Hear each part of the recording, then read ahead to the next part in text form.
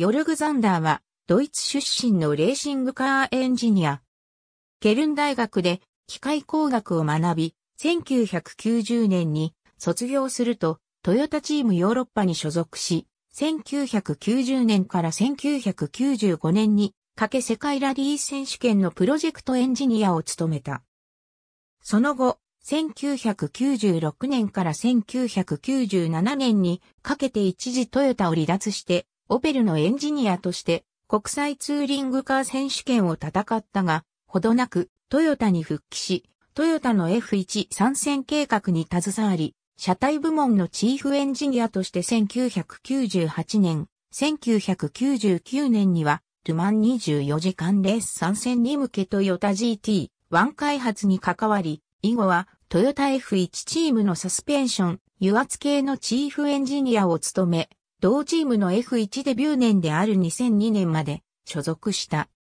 2003年にはレーナード系エンジニアがまとめて姿を消してホンダのエンジニアも混在して、ジェフ・イリスの統率下に R&D を進めるというスタイルに組織、変更された BAR チームに移籍し、トランスミッション部門のチーフとなり、ホンダとチギとのコラボレーションで、シームレスギアボックスとも俗称される変速機構を開発したとされる。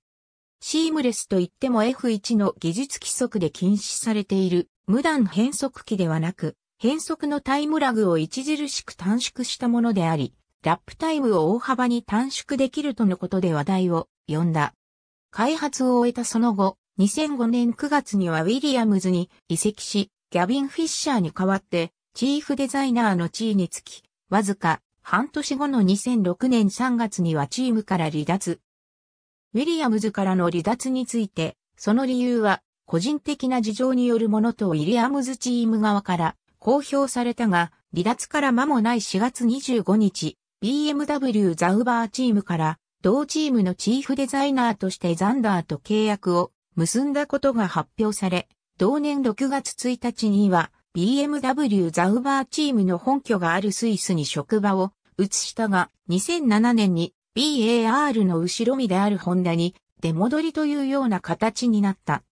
ホンダの F1 撤退に伴いチームはブラウン GP と名称を変えたが、テクニカルディレクター代理として引き続き在籍していた。2009年6月19日でチームを離脱、ザンダーの公認や理由などは不明。2011年9月、ジェフ・ウィリスに代わって HRT のテクニカルディレクターに就任した。しかし、その1ヶ月後にチームはテクニカルディレクターにジャッキー・エッケラートを起用したためチームを離脱することになった。2015年からアウディの技術部門責任者を務めたが、翌2016年をもって WEC を撤退したため離脱した。2017年からザウバーのテクニカルディレクターを務めるが、翌年に離脱。ちなみに、ロス・ブラウンやマーク・プレストンは、クイックシフトタイプのトランスミッションというより、正確な表現を用いている。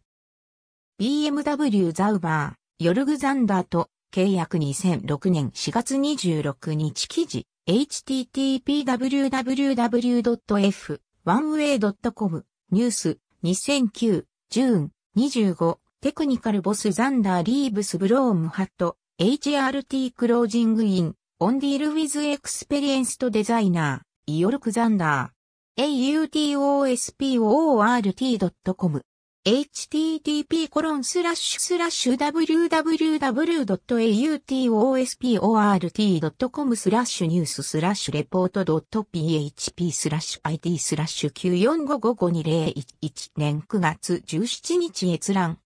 アウディ、2015年も積極的にモータースポーツ活動を展開。アウディ、2017年2月21日閲覧。